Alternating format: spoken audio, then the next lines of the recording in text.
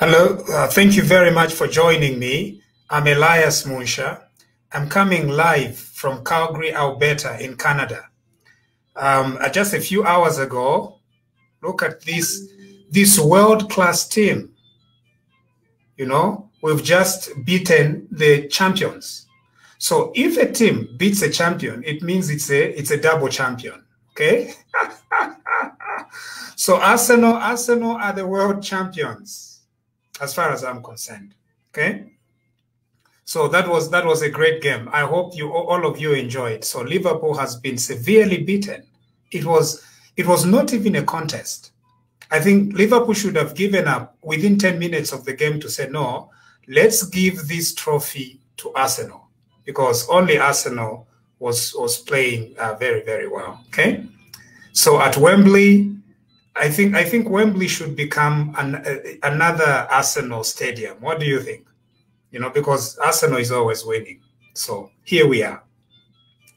Okay, please spread the word around as much as you can because today I want to talk to the youth of Zambia. Now I know that this is about 22 2130 and so some some of you youths are sleeping, but I would want to invite you to be awake so that we can have a discussion about some of the things that have happened here. Um, the reason why I want to talk to the youth of Zambia is because Zambia has a very long history. And if we miss this history, we are not going to learn the lessons. Very important. We are not going to learn the lessons. Now, of course, some of the people are going to disagree with me, and it is okay to disagree with me. And in fact, some are, uh, were part of the Kaunda government, and so they really swear and stand by the things that used to happen during the Kaunda regime. But I want to just give my side of how I, I understood these things over the years. And most of you, particularly those that were born in the late 80s and early 90s, you may not relate to some of the things that have been happening regarding privatization. So I want to take this opportunity to talk a little bit more about that in order for us to uh, send this message and teach the young people. Now, most of you are very clear about what happened at independence in 1964. To cut a very long story short, in 1964, on 24th October, Zambia became an independent country it became an independent nation. And the first president of Zambia, of course, was Kenneth Kaunda. At independence, Zambia was a what we call a free enterprise country. Free enterprise means that much of the industry were in private hands. Zambia was a democracy in 1964. It was a multi-party democracy in the sense that it had several parties in the country. And Kenneth Kaunda became its first president. However, shortly after independence, Kenneth Kaunda embarked on a program known as Zambianization. Zambianization was basically to transfer the Zambian economy from the hands of foreigners into the hands of Zambians. But it was not just about transferring the economy, it was also about transferring the human resource from foreigners. By foreigners, it meant white people moving, moving or kicking out white people so that Zambians, black Zambians, and sometimes other non-black Zambians as well, to become uh, the, the drivers of the Zambian economy. Uh, that system worked to an extent, okay? But it did not work as it was envis uh, uh, envisaged or as it was planned. There were several issues with that system. Uh, several issues were that, you see, at independence, Kenneth Kaunda wanted to keep the whites so that the whites begin transferring the resources, the, the know-how, the knowledge, the management experience, until we could have blacks that were equipped enough to be able to run the economy. The fact that you are politically independent does not mean that you have everything in tow and you know everything that is needed. That is what happened in the 60s. However, due to politics, due to the realities of politics, of course, Kaunda tried to accelerate the Zambianization program. Even before we had enough graduates to be able to, to, to, to, to, to guide all these industries that was coming, uh, all this um, opportunity that was coming, before we could train people, those people were needed to become managers and drivers of the industries. I'm not trying to say that that was a wrong program. All I am saying is that the reality was that we may not have been prepared to assume that role of becoming drivers of the industries that were disposed uh, before us. And politics, of course, the need for um, our, our economy to transition into black hands was very huge. And so I sympathize with Kenneth Kaunda and a group of his uh, ministers who felt that they needed to do what they had to do to begin bringing visibility of Black people into the industry. However, something else happened. The 60s were very difficult for politics in Zambia. The reason was due to what is known as tribalism. Now, you think that tribalism is something very new. No. Even in the 60s, Kaunda was also struggling with tribalism. So Kenneth Kaunda thought that the best way that he could resolve this problem was to try and ban all other political parties in Zambia and maintain the United National Independence Party as the only party. He felt that when he does that, there's going to be some level of unity in Zambia. He was very concerned that there was a Tonga, uh, uh, uh, Eastern divide, there was a Bemba Lozi divide, and so he did not want that. Okay, so he then proposed that all other parties are going to be banned and we are going to have only one party in, in power. Kenneth Kaunda called it the one party participatory democracy that happened in about 1972. Now, industries in Zambian hands, one party participatory democracy. The consequence of doing these two things at the same time was dire. The problem was that as you were Zambianizing and as you were driving, moving the country from, um, uh, uh, as you were Zambianizing and moving the country to, an, to a one-party participatory democracy, the role of cadres was going to be much more pronounced than previously. It meant then that for jobs, you are going to look more on party affiliation and faithfulness to the ruling party than academic or professional merit. That is one of the criticisms that we have of the one party state. Now, we think that the current level of cadres are very bad. But when we look back to the 70s and the 80s, the level of cadreism was pretty, was pretty strong. Okay? In, in those days, um, and, and in fact, we were under a state of emergency where even if, if, if, if, if, if in, in, in, in communities, it was the ruling party that was presiding over communities. When you receive a visitor from the village, you needed to, to notify the chairman of the party that you are uh, uh, visitors, from, visitors from the village. It was a very tightly controlled society. Now, we are not trying to blame Kenneth Kaunda. All that we are trying to do here is to give you a story. And I know there are several other people who have a different story about what used to happen during the Kenneth Kaunda regime. Okay. Now, Zambianization also meant then that all the industries that were in private hands were going to be transitioned so that they become state enterprises.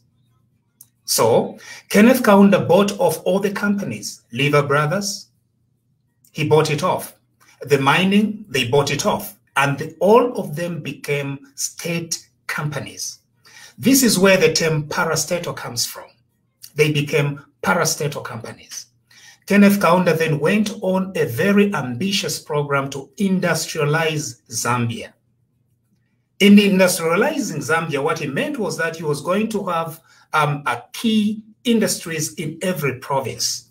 In Mwinilunga, he had a pineapple processing plant. In Mansa, we had the Mansa batteries, which was mining um, uh, magnesium and then making batteries. In Livingstone, he assembled a very ambitious program of, um, of, of automotive um, uh, uh, things. In Mongu, in several parts of the country, he did that. Those were known as parastatal companies. ZESCO, and several other uh, uh, state-owned enterprises. However, there are several realities that we needed to face. copper uh, uh, uh prices in the 70s went down, it added a lot more pressure on the Zambian economy. What else happened? Um, um, there was war in South Africa and in Zimbabwe, just our neighbor Zimbabwe. We look at Zimbabwe and we think, what a wonderful country it was. But there was war there in the 70s. All these were realities that were putting pressure on the industries in Zambia. But the problem was that because Zambia now had become a one party participatory democracy, jobs were not based on professional or academic merit. They were now based on party affiliation. Therefore, patronage became a very, very important consideration for appointment into positions.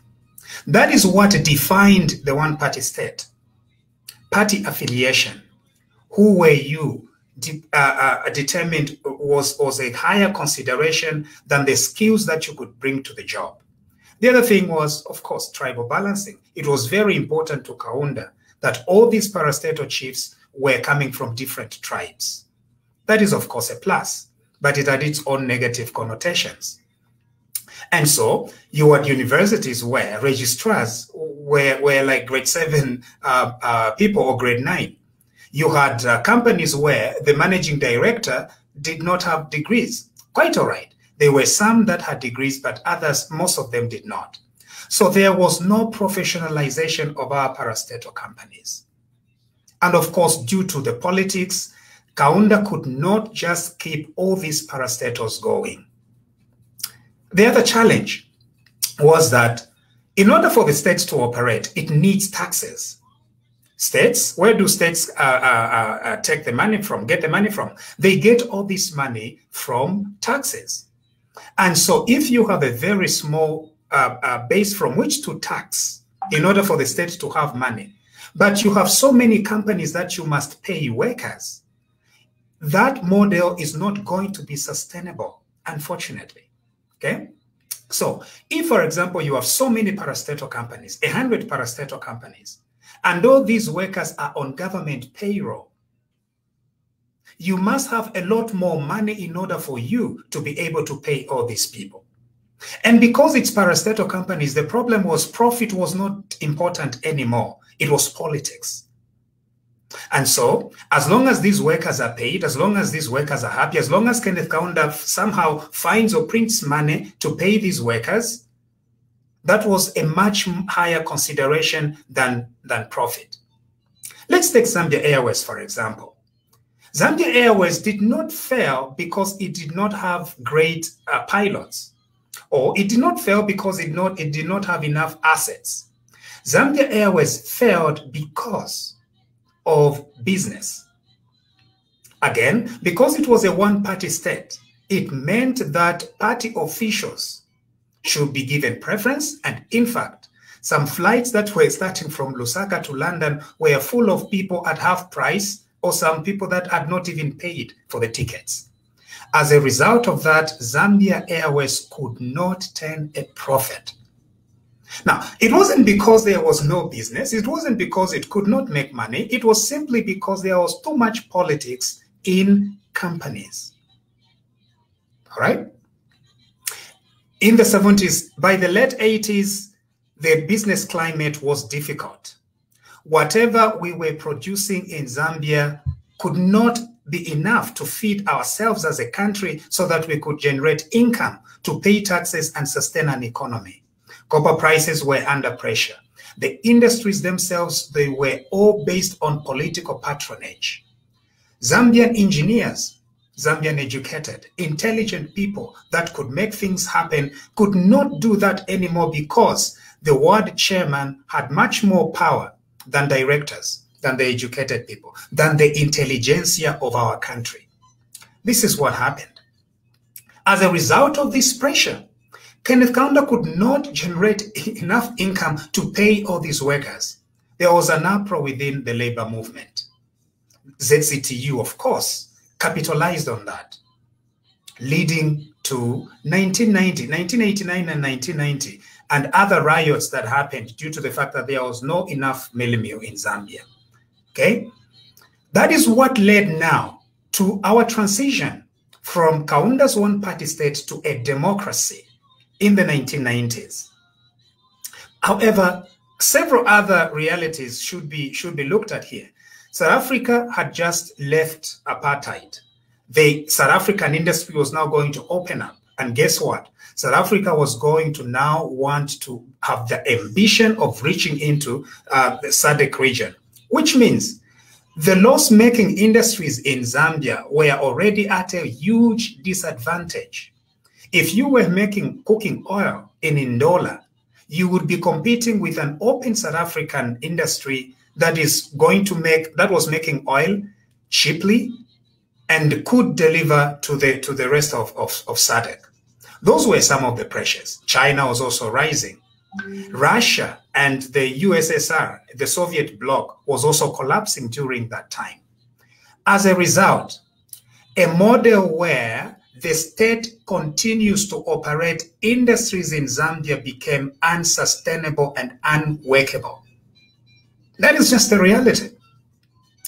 There is no way that we were going to keep our industries, Kaunda's parastatal industries in Zambia. The pressure was just too much. That's why after 1991, after Frederick Chiluba won, there was clear consensus that in order to bring Zambia back to prosperity, it was important to privatize these parastatal companies. Now, what does it mean to, to privatize? It meant that the state was going to get rid of some of these companies and sell them into private hands. The reason why they are being sold into private hands was that those private companies, they begin to capitalize those industries. They begin looking and partnering with other international partners. They begin looking down to Zimbabwe, to South Africa, so that these companies can work together. They begin looking at the international market and international opportunities. That was why they went towards privatization. The mines, Quite all right, the mines were there, and most of them by, by late 1990s, because the, the machinery had not been um, uh, repaired in a very, very long time, there was need for fresh funds into all those mines. Now, where were all those funds going to come from? Our debt burden was huge, between 5 to 10 billion. Numbers are, are, are inconsistent at the moment. So you required a lot of money to capitalize them. Then came the idea of privatization. It was going to be a very difficult and controversial thing to do. The reason why privatization was going to be difficult was that under the Kaunda regime, we were used to having the state become the owner of all these companies. Even if they were making losses, the state would still continue subsidizing those industries. But the model could not work. The model could not work not because we were incapable. The model could not work because of the realities of politics. That's why the same Zambians, the same Zambian engineers who have built roads in Botswana, who have been hired in South Africa, who have worked excellently in Namibia, who have done wonders internationally, they could not do it in their own country. The reason was the ward chairman had more power over all these educated professionals. And so, what is the biggest problem with the parastatal model? It is the model where politics determine everything else that the parastatals are going to do. Let's take the Zambia Daily Mail, for example, or the Times of Zambia. These two companies are insolvent. They cannot pay their debts. They, they, they, they, they, they survive by the taxpayers. Now, imagine having a hundred times of Zambia businesses across the country. The tax base would be small. You have to borrow billions in order to continue paying the workers. And that's exactly what used to happen in the 70s and in the 80s. That model could not work.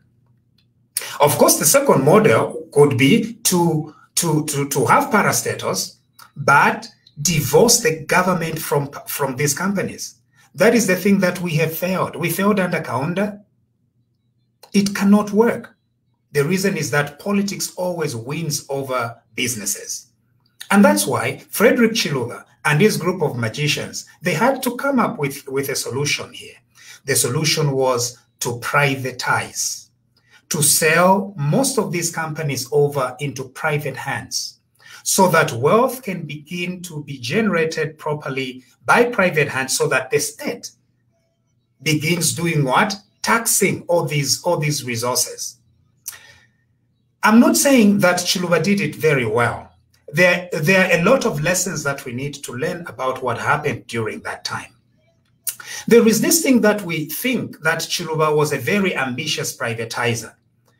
According to Guy Scott, and I do have the Guy Scott book. Let me just uh, get it. This is the Guy Scott book. It's known as Adventures in Zambian Politics, a story in black and white. Um, uh, somewhere here, Guy Scott actually says that Chiluba was not an ambitious privatizer. He was a very cautious privatizer. So, according to Guy Scott, Guy Scott wanted Chiluba to be much more ambitious in his privatization program. And Guy Scott is concerned that Chiluba was not as ambitious. One of the examples that Guy Scott uses is a company known as the Kafue Consortium. Consortium the Kafue Consortium. The Kafue Consortium was going to be this super big company that was going to come and invest in our mining industry. Chiluba was not willing to uh, allow them to come in. But Guy Scott feels like the Kafue Consortium should have been allowed to come and, and, and, and invest in Zambia. Anyway, um, at least from Guy Scott's perspective, and Guy Scott really has no kind words for Chiluba, but at least he paints a picture that Frederick Chiluba was much more cautious, was much more reluctant. But the realities of the day were such that if they did not make the kind of decisions that they made, Zambia was going to continue accruing more debt. And if you have uh, no, no, nowhere to borrow, you know what would happen? You continue printing. And very quickly, the Zambian economy was going to continue the downward spiral of the Kaunda regime difficult decisions had to be made. And one of these decisions was to try to take government out of business so that government concentrates on bring, coming up with policies that are going to help our country develop. And that's why they privatized some of the companies. They sold them out. They sold these companies. And in those days, we had uh, we had great, great ministers. Emmanuel Kasonde. He was the first uh, finance minister and and we had uh, people like Ronald Penza, very very outward and forward looking entrepreneurs who knew that the answer to the problems that we were having at that time was to try to get politics and the state out of these corporations. To date, the consequences of those decisions are there for us to, to feel. There are so many people uh, from my father's age who were working for all these companies and those and and and and and a lot to date have something you know it has left a very bitter uh, uh, taste in their mouths. Of course there was no way that that program was going to be uh, done without having a few uh, uh, problems here and there. But they accomplished something. Frederick chiluba and his government they accomplished something. What did they accomplish they managed to reorient the engine of our economy from an economy that looks to the government to an economy that tries to get people to go into business and do business. That by far is the greatest achievement that Frederick Chiluba did and his group of, of, of magicians. I call them magicians.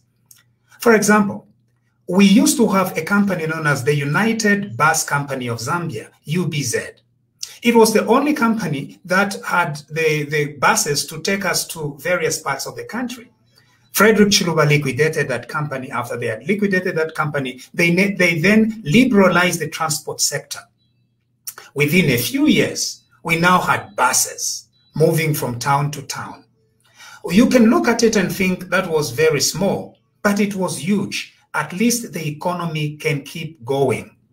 And most importantly, the state was not going to be determining which UBZ bus is going to be on the road and which UBZ bus is, bus is not going to be on the road. The other thing that the Chiluba government did was to sell houses. So all these houses that belonged to the councils, belonged to the government, Chiluba empowered the people of Zambia directly. Some of the houses were being sold for 10 kwacha, 10,000 kwacha. You know, my big father, Batatam Kalamba, uh, Kuchabanyama, Nabobene became one of the beneficiaries of that. And my, my, my cousins, my brothers, and all those, they grew up at least in a house in Kuchabanyama, that they bought from Frederick Chiluba at 10 kwacha. There are some people who got lucky and they bought bigger houses. They bought bigger houses. It was known as empowerment. Through that, we could see that the Zambian economy was in the right trajectory. Were there any issues? Yes, of course, the issues were there. Were there some corruption? Some people say Frederick Chiluba was corrupt, but at least the economy opened up. We began competing we began interacting with South Africans. We began interacting with the, with Zimbabweans. We opened up some parts of, of in, in agriculture. Okay. Is this something that should have been done better? Of course, there, there will always be things that are going to be done and, and wished uh, uh, were done. But at least during that regime, something happened. Now, after Chiluba left power, Levi Mwanawasa came on. During that time, the 2000s, uh, something very important was happening internationally.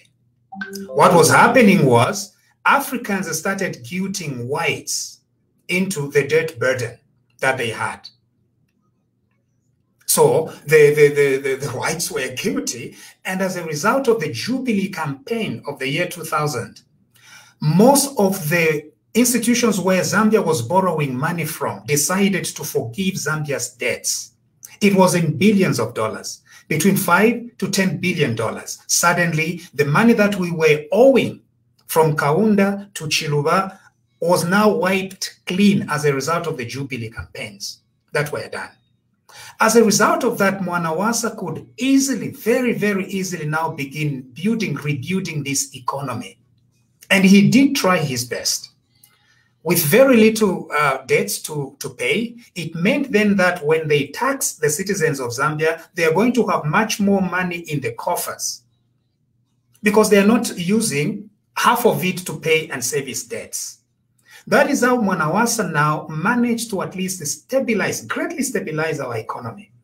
And then he had a very ambitious um, minister of, of, of finance known as Ngandu Magande Mwanawasa went and fished Ngandu Magande from international multilateral institutions where this great son of the soil was doing his service. Mwanawasa called him and told him, Ngandu Magande, you are going to become Minister of Finance.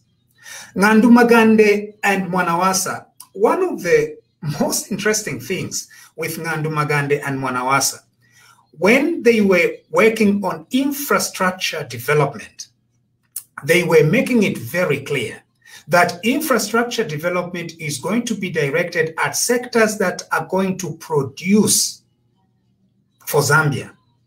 That is, that is, that is where Magande was. For example, one of the chiefs told Magande to say, build a road in my chiefdom. Ngandu Magande answered and said, we are not going to build a road in a chiefdom because we want to redirect infrastructure development into sectors that are actually productive. They tried to invest in, in, in, in, in roads in the urban areas. They tried to invest in um, uh, in infrastructure that is going to, to, to, to help the economy, and they helped stabilize um, uh, the economy quite a bit. But the effects were still there beginning from the structural adjustment programs of Chiluba, uh, the privatization and all that. So the pain for Zambians was still there. But while the ordinary Zambians were still feeling pain, the fundamentals of Zambian uh, of the Zambian economy were doing extremely well. We were on the right trajectory until Mwanawasa, of course, passed away. Rupia Banda came on. Rupia Banda's fundamentals were also holding up very well because they, we did not have that burden of debts anymore. The government was no longer taking care of parastatal companies. So Rupia Banda could easily um, uh, concentrate on just building the fundamentals of our economy. They built reserves to about $2.5 billion. When Rupia Banda was leaving office in 2011, there was about $2.5 billion in the, um, in the Bank of Zambia from the reserves. Okay, but of course, the pain of the ordinary people was there. People were uh, were struggling. They felt like this thing was not working for them.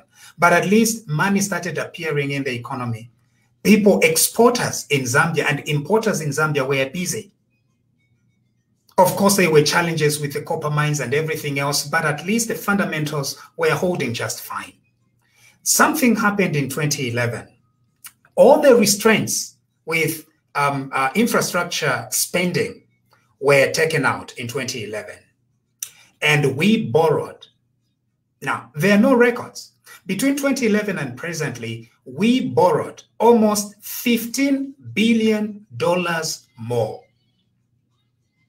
Which means whatever things that Chiluba tried to build, whatever things Mwanawasa tried to build, whatever things that Rupia Banda tried to build, in 10 years from 2011 to the present, we squandered the 2.5 billion that uh, uh, Rupia Banda left. After squandering that money, we went on to borrow billions more. That's exactly what has happened in our in our country.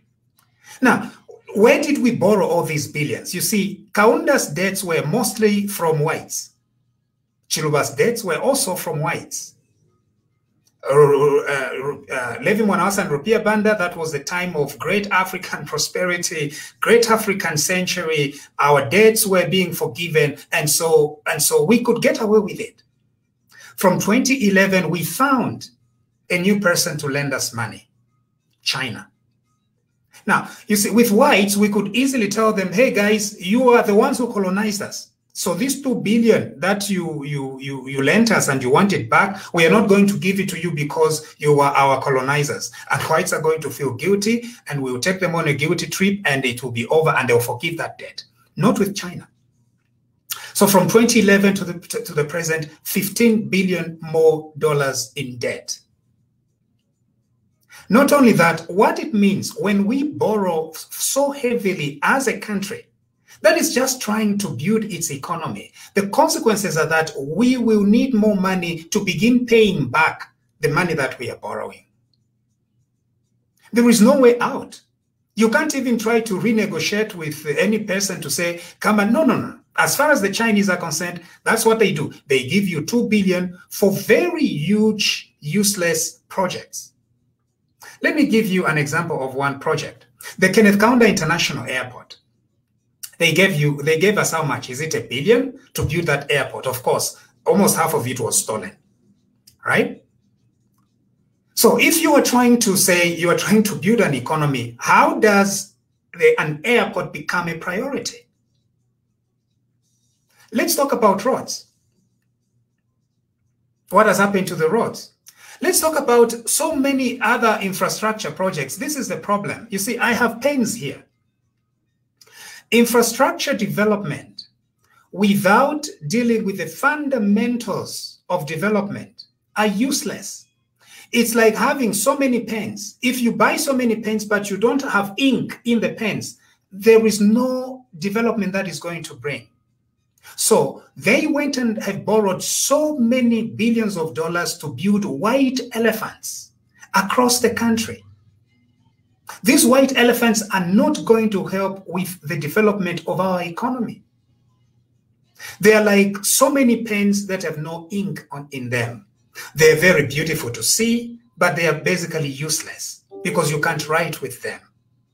If this is just about having so many pens that people are going to be admiring, then let it be. But in order for us to build an economy that brings prosperity to ordinary Zambians, we've got to take build on the Chiluba model built on Mwanawasa's discipline, built on Rupia Banda's discipline, so that Once those fundamentals are in place, it will become very easy to bring prosperity to our country. But we have concentrated on having all these pens without the fundamentals of the economy.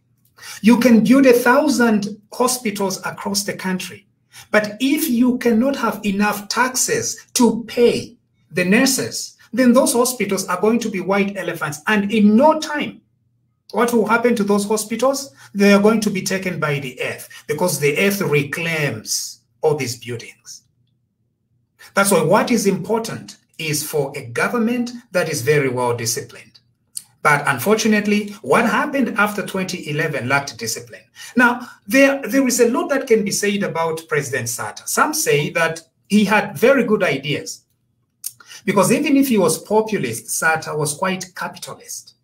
Okay, make no mistake. Many people think that Michael Sata was a very good uh, uh, uh, communist or socialist. No, Michael Sata's um, uh, ideas were quite populist, but in practice, he was a very, very consummate uh, entrepreneur. Very, very consummate entrepreneur. And so there is this theory, this theory that a few years into his presidency, he became sick. And so it was other people that were determining uh, the borrowing and everything. Maybe we can give him a benefit of doubt. But after 20, after 2015 and 2016, we went back to China, borrowed more, built a lot of white elephants that have not helped with our economy. Now, something happens. After President Lungu fails to move this economy further, after he builds so many pens without ink, there is no longer money in our economy. We have no reserves. It has all been squandered. We have borrowed so many billions from China, and China is not like Bazungu, which we can guilt into forgiving our debts. It can't work like that. As a matter of fact, most of the contracts for those debts that we signed as a country, some of it we understand were in Chinese, and it had a lot of conditions, such as making some of the parastatals that we have currently as sureties for those debts. If China wants, they are going to come and they are going to come for the little remaining parastatals that we have left. That is just the reality. Now, President Lungu has failed. Now, after he fails, he then begins making up things. He wants somebody to blame for his failure. Now, he's not going to blame Chiluba because Chiluba is dead. He's not going to blame Mwanawasa. He's not going, going to blame Sata. So he comes up with lies and begins directing a blame to someone. Now, I have no issues with PF cadres. PF cadres are my fellow cadres. I'm probably a cadre myself. They are my brothers and they are my sisters. What I say is not directed at PF cadres. It is not directed at my people in Luapula province who overwhelmingly still support the Patriotic Front. My beef is with the leadership of the Patriotic Front, with President Lungu and a group of their leaders who have no regard for the ordinary people of Zambia. Those are the people that I talk about. That is where I direct my anger because our country can do better. Our country can do so much.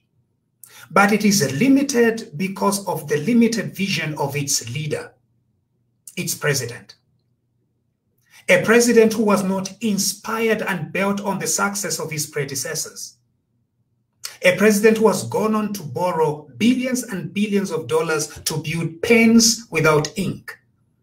And then he takes good pictures of these pens he says they are so nice, they are so wonderful, but the pains cannot write. You have no money to pay nurses or to pay doctors. It is not enough to just take pictures of the clinic that you built in Shangombo. The clinic in Shangombo only becomes valuable if at all you can send doctors and nurses there to help our people.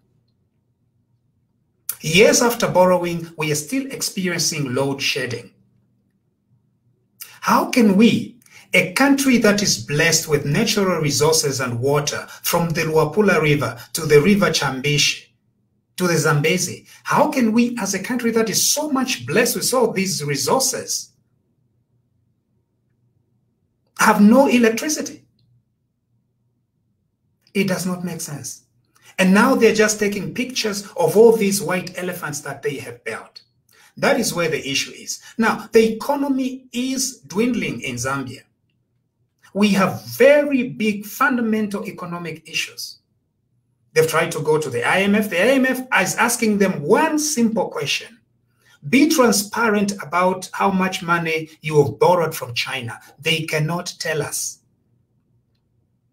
This cabinet has gone on to borrow and borrow without telling Parliament, because when you tell Parliament, it's a public record. They've not told Parliament how much they have borrowed. As a result, the World Bank and the IMF are saying, people, just give us an idea, because when you give us an idea, we can see how we can help you. It's going to be another painful process. You see, when you are lacking leadership, you cannot build on the strengths of the past. You begin repeating the same things. So instead of us going through the pain of the 90s under Chiluba, we are going in 2020 go back to those pains of 1990, which was pretty unnecessary. So the IMF are saying, show us where the wound is. Show us how deep you have borrowed so that we can see how we can help you. They can't do that. Now, because politics is catching up with them, the people of Zambia are saying, no, you are not doing anything to help us. They've seen how the kwacha has doubled in 10 years, lost its value by 200% in 10 years. They have seen how their own sick people in hospitals are going to hospitals without drugs. They're seeing how this president is moving from province to province, starting all these white elephants. They're seeing how they are spending so much money on roads where they're not durable roads. These are roads ayakwebati apo batampira before tabalapwisha ifirindi fyamba okutulika where they started from. And Zambians are like, we need we need something to change here because the president and it's the president again it is the president he's not doing anything he's not doing enough he has no clue now so then they now want to find somebody to blame and guess who that somebody is it is the person who is aspiring to lead our country I'm not telling you to vote for HH. I don't even know HH, but I've seen him on pictures. He looks good. So instead of focusing on trying to resolve our current problems, they have now found somebody to blame for their incompetence. Chiluba is definitely not there, so he's not a candidate. So they found suddenly HH, and they're saying that it is HH who sold the mines. The people of Zambia must stand together and reject the Patriotic Front lies. Again, it's not the cadres. You cadres are like me. You are me. I am you. We are one together. We are suffering together with the cadres. It is the leaders. It is the patriotic front that is stealing what belongs to you as Zambians and fellow cadres.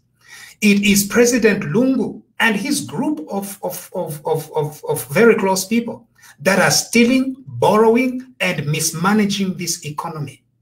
I have no problems with my relatives that support the Patriotic Front, but I have problems with the Patriotic Front Party and its top leaders who are only bent on stealing and stealing and stealing some more. And now, because they have no program, they want to heap it all on HH. I've been told that I should avoid trying to speak a, a lot of Bemba. Nomba, munjerereko, kambomfye kwe chibemba. Chimono kwebata abantu bambi banya. elo nomba bayasenda amafi batwika owakayele ati ewunyele bamutwika bamutwe amafi ewo batwika ate ewunyele efira ekitika abeebira embushi ni bambi baalya embushi kirye babeekata ero baasenda amala ya mbushi baayamushinga ekyeki ati niyo ekyeki ebire efira ekitika pantu kwena iwe niwe bokateeka kiruba abombesha akitari orient economy ya kyalo abena mwana wa nsi shonse kyonse clean slate. Ero nomba waisapo kirya waisapo you are not leading the people. Iwe na fye kuyiba alana abeeba nandaka inomba bale balefolesha afe mpiya ekifoleshafolesha pandu kuiva baaliiba nomba ina enshira na nabeena zambia iyo? Nshirelaka namakadazi baba pf amakadazi baba pf bantu bandi. Bantu limbi na inewine nebokata tete njishibe tuli bena zambia bonse. Obwafya nkwete nabo ni balungu na babululu shabo. Balungu n'abana babo n'aba nabo ebaleyi b'ekyuma kya kyalo nga kuti shani shani ikonomi yalisuka bwino bwino inkongole muli mwana wasa balitwerera enkongole balitwerera enkongole abasungu. Abati let this poor country start afresh. Twatampa mari namareserves rupia banda asha bali sana tibalituwere nomba iliyo aba balipo nomba kufuayo wakubepesha bayasenda nabantu bambi ati yomuwayi aleni nomba sonteni iminwe bali hh ni hh wayibire.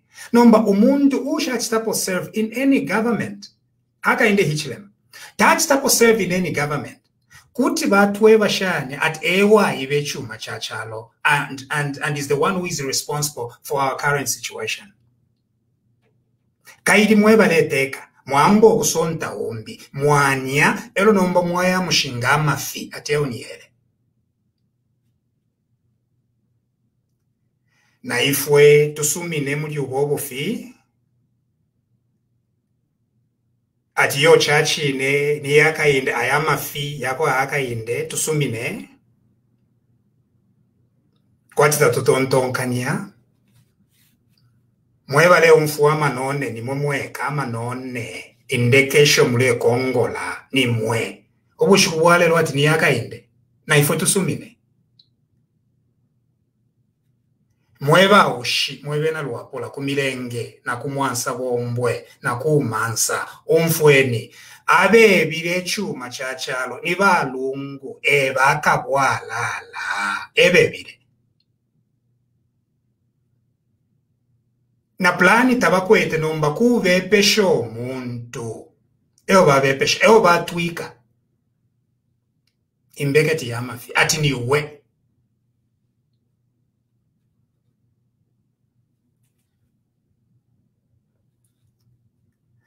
muntu shani nashani uyu namayo oapena aya na paredio aya leta naleta nepepa refi yabufi ukweba ati owashitisha eki neki niye cheki bushekwena aba bamayo bana batu ntulufe kwino kwino. Eba ba minister of finance. Iryo fimofumo fyaleshitiko ushekwena nga chakutira yechechi alivapo alivapo inonshita ngepo ali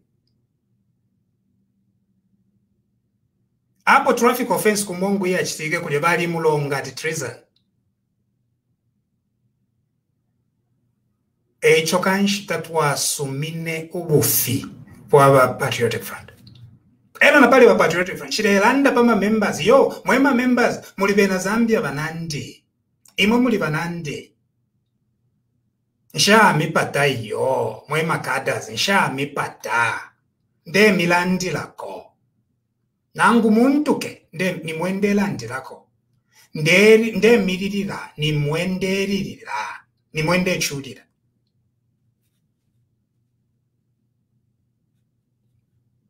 okweba ati obu obuteeko bw'abalongo teefyo bateeka ekyalo. nomba twikale fyati yomukwai konkaniyenipo okulaba epesha omundu ushabapo mugavamenti omwine efyo walondolola fyakoba ati ine ndi mutonga. Ilyo nafyerwe efye nafyerwe neng'ombe ero nasapangako otupiyo otu nono file file nabika mung'ombe na mubilimi na mulilanda ero nomba nasasanga ati ningwina bantu emu pashitwala efwayo okumona ilyo chiro bashitisha efintu fyonse firi when Chiluba privatized the country, that is the kind of entrepreneurship that we wanted to see. And we see it in, uh, in Mr. Mr. Hichilema. He took the little money that he made out of it. And it was not only Hichilema who was working in those days. Several law firms, Kanyebe. In Zambia, Zambian lawyers were about 200 or 300 at that time. There was no business law in Zambia. The reason was there were no industries in Zambia that were in private hands. There was no business law. The first business law firm in Zambia is Corpus. Elias Chipimo by Elias Chipimo chairman of the MMD Elias Chipimo senior Elias Chipimo junior ni lawyer e law firm yakwe ilya iyo batampire okuba nomba batampe to help the people of Zambia to navigate through the privatization process. Elias Chipimo Jr. made some money out of it. Even today, he's comfortable. And he has, he has a law firm that he has built, a very big, important business law firm in Zambia. Because of privatization because of the opportunities that were there for the people that were that were there. Others, they were also consultants, lawyers. Number, they did not invest that money. No, they took that money and started um, uh, uh, drinking with it and and and and doing whatever they did. You know, uh, so so they took that money and they, they spent it. That's what I read from the NDC. I don't know, but the NDC are saying that Balungu Ben Nabobe was one of the consultants during that time, made some money. And instead of uh, being like HH or like Elias Chipimo, he took that money and he spent it on nightclubs. That's what the NDC are saying. I'm not, I'm not the one who is making up this. So number four, for people in their right minds to say that we are in this misery because of HH is not fair. Inendandirako fye abantu. Ilyo baletitikisha lungu ndamulandirako ati yo apa mwamutitikisha. Nomba apa muletitikisha akaimbe hichilema. Nga tamule mfuaya, landeni fye tamule mfuaya yo. Ukuchilo okulaba epo obufi. That is, that is the only thing. Ngata mulefu waya tiyo mukwaita mulefu waya tiyo pantu mutonga landeni fye pakuva tinomba dealing eko with tribalism other than foundation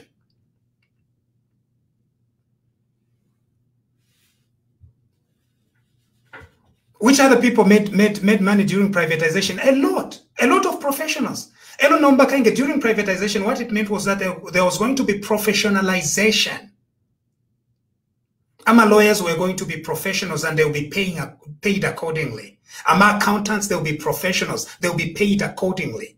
Takuwa you are just an accountant of a company because you belong to the ruling party. No, they sent all these people back to school. That is what happened during the privatization. The administrative state started to grow and expanding. NAPSA was established. Workers' Compensation Board was established. Several other agencies of the state started growing and developing, and Zambia suddenly started seeing at least some level of prosperity. There was still some suffering, true. I grew up in Chiwempala in the 90s. I saw with my very own eyes the kind of struggle that we had to go through.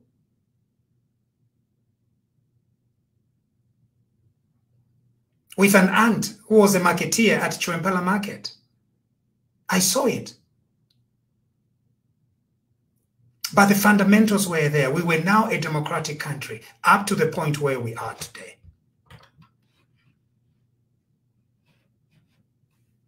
Okay?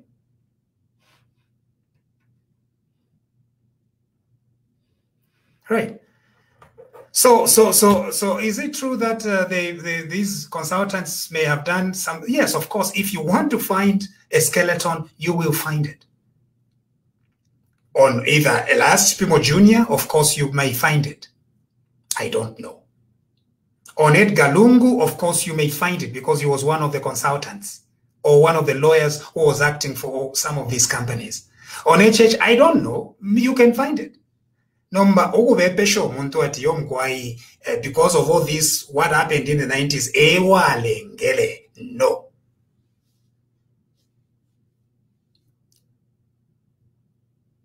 It is the PF that are stealing now. It is the PF that are stealing now. That is where the issue is. Valungu naba nabo. Ebaleiba now. Not my industries utu tushere kona tuena balefo kushitisha. Now. Those are the kind of problems that we have now. We need a leader that is going to build on what his predecessors did, not a leader who, when he fails, that is not the kind of thing that we need for development in Zambia.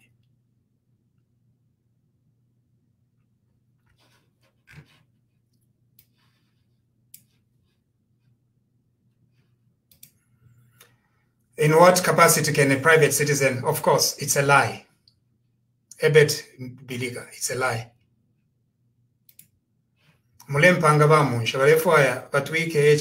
Of course, that's exactly what they've done, and now they are using they they are using this woman. And forgive my language, she is saying some very useless and divisive things.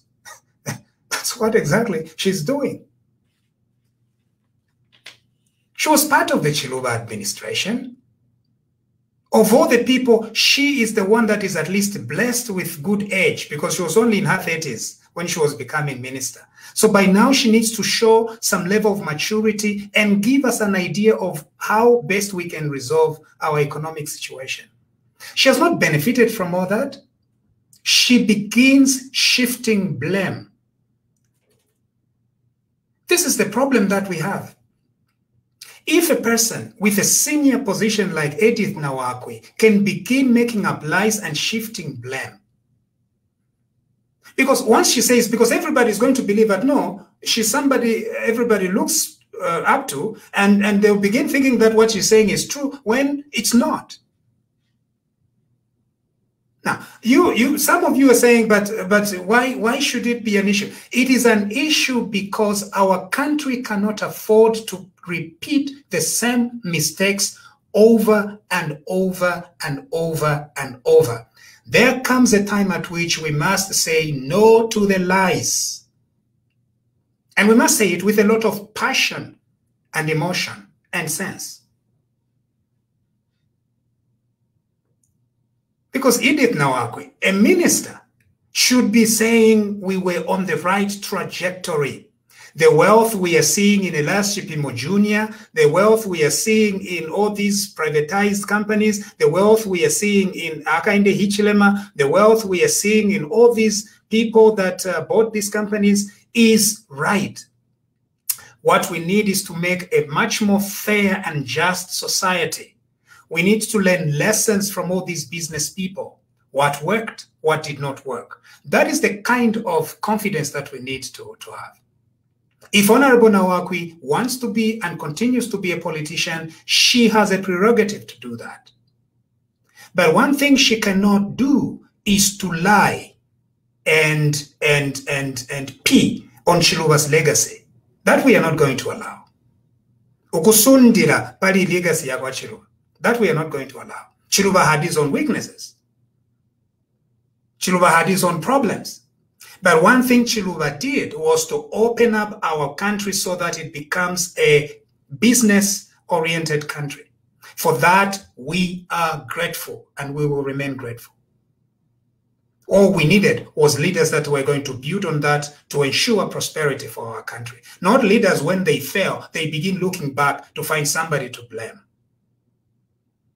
In 1991, 1991, when Chiluba became president, he said, I'm going to forget whatever happened. Of course, of course, it was a problem, you know. Of course, it was a problem, but at least I did Arilandogo no, we are going to look forward and build our economy, build our country, raise the profile of our people. It was not an easy thing to reorient the people of Zambia from a dependency to independence. It was not going to be easy for Chiluba to change our orientation as a people who were dependent on Kaunda's handouts since the 70s and the 80s to begin now looking at our the, the entrepreneurial spirit. It was not going to be easy. And then somebody in this government begins looking back and saying that it was all because of Chiluba. What nonsense. so, what nonsense. If she wants to be a politician, let her go ahead and be a politician. Na hapo na kumushiku mwabo ama votes takwa vana wakwe. Nifinshi bala tuweba. Kuvena mwanga na kubamba mbwe. She did not get any any votes there. What who, who voted for her? Ero nomba bese batu batu batu chuchunganye. Batu batu chuchunganye nefi yabofi. Nonsense.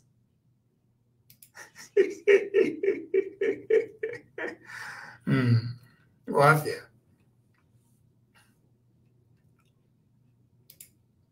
That's the tusumine yama. It's true. Okay. Any anyone um, uh, wants to say something? We've been talking for about an hour. Eh? So, so to the youth of Zambia, you can spend only one hour. My opinion about how we got where we are. It's not too much. You sit and watch four hours of Nigerian movies. for one hour particularly ko afyere munainte because tamu tamu ishwa bwino bwino efyare echitike. Efyachitike so nombaka kasa miwe pati yomukwa imwe vayufi ifyo chiri uwo twala chisablame munu yechechi mwasumina nokusumina ngani mwa mwe vavemba vanhandi it's even worse. Yo mwevena lwapula mwisumi novufi kwa alungu ati yo mukwayi ni uyu. No don't. Samson kapaira arerete eri ashauti shana?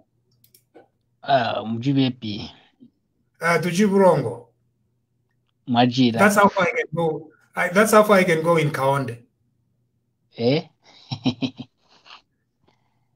Tiri kumva vingi urongo yomume nakwamba mdara. Okay thank you. Thank you very much. You understand kaonde no no i've understood a little bit of what you've said because kaonde kainge ifefine mwalanda ningufu wako pano. E, byomume nakwamba kyalo kibe nakumvwa nekumwona kibe Thank kumona nakumwona Thank kabiji twayanda pavura sana kampe msako ambapo neva bintu bisa kukinya sana e, na biji kuno ku northwestern. Ah yeah, byatama byatama byatama yaya byatama okay thank you barongo betu byatu byatama yeah thank you thank you Mm, okay, okay, Chisuma. Mm, uh, this is nice. Have you noticed that Kaonde is so nice, eh? Eh? Why don't we listen to more of Kaonde? Eh? Na inakunsambisha kwechi Kaonde. Eh, I'm late poshan. Va, va Musako. Lefred.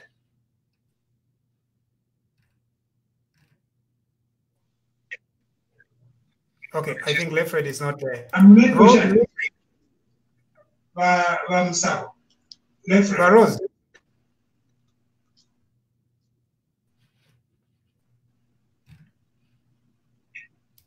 Okay, Okay. Left is not there. All right, I think uh, I think I, th- I think that's it. Uh, we can't we can't seem to get uh, uh, anyone here. Okay, um, this is enlightening. Yes, indeed. Uh, we thank you. Okay, thank you so much for joining me today. I really appreciate. I know you've been very patient. Elias Munshya Facebook page is my Facebook page. Please um, like it, share it, I also have a YouTube channel, Elias Munshya YouTube channel. I think we can talk a little bit more there. Uh, thank you very much for joining me today. We've got to say bye and uh, see you another time. Thank you.